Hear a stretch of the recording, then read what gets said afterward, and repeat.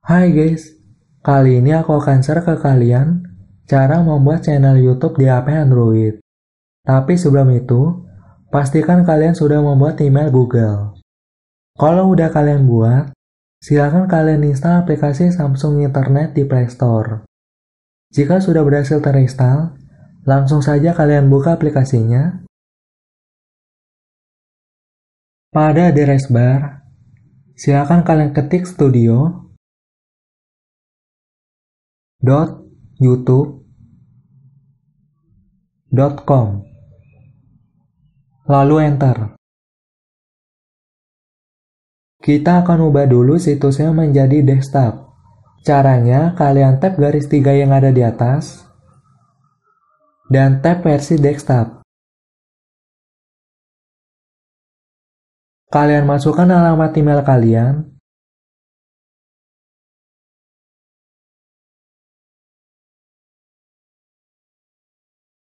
lalu enter.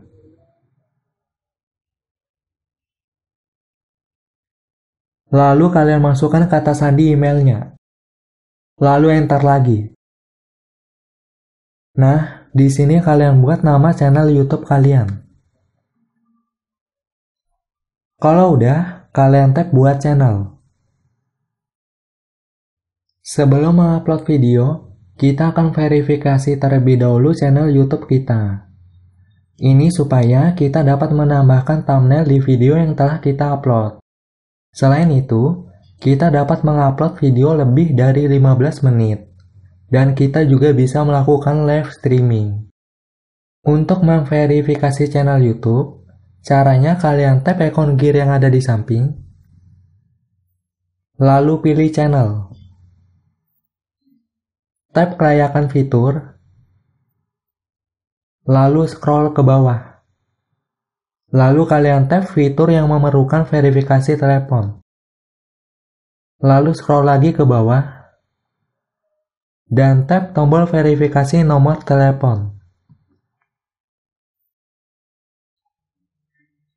Pada bagian pilih negara, kalian pilih negara Indonesia, lalu tap selesai.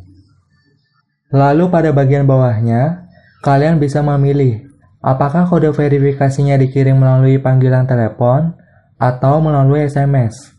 Kalau saya pilih SMS karena lebih mudah. Lalu di bagian kolom bawah, kalian masukkan nomor HP kalian. Kalau udah, kalian tap kirim. Kalian tunggu sampai kode verifikasinya terkirim ke nomor HP kalian. Kalau udah masuk SMS-nya, silakan kalian salin kode verifikasinya, lalu kalian tempel kode verifikasinya pada kolom yang tersedia. Dan tap kirim. Jika sudah muncul seperti ini, berarti channel YouTube kalian sudah berhasil terverifikasi. Sekarang kita akan upload video ke YouTube. Caranya, kalian kembali dulu ke halaman YouTube Studio. Lalu kalian tap buat. Lalu pilih upload video. Pilih file. Lalu kalian pilih lagi file.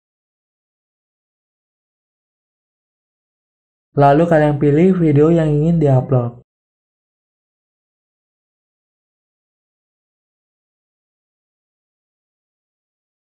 Selagi menunggu proses uploadnya selesai, kita akan kasih judul pada videonya. Sebagai contoh, di sini saya akan kasih judul Cara Melepas Sendal. Dan jangan lupa kalian isi juga bagian deskripsinya.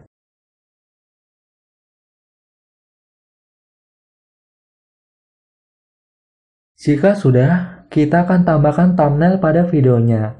Caranya, kalian scroll ke bawah, lalu pilih upload thumbnail.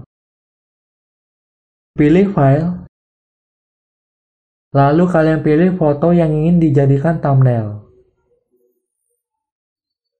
Oke, kita telah berhasil menambahkan thumbnail pada videonya. Selanjutnya kalian scroll ke bawah. Lalu pada bagian video ini dibuat untuk anak-anak, silakan kalian jawab ya atau tidak. Karena di video saya tidak ada anak-anak, maka saya pilih tidak. Sekarang kita akan publish videonya. Caranya kalian tap visibilitas, lalu pilih publish. Karena tombol publish tidak muat di layar, sebaiknya kalian pegang HP kalian secara vertikal. Kalian perbesar ke bawah, dan tag publikasikan. Sekarang, videonya sudah berhasil diupload ke YouTube. Dan jika kalian ingin menonton videonya, Kalian tinggal tap link yang ada di bawah.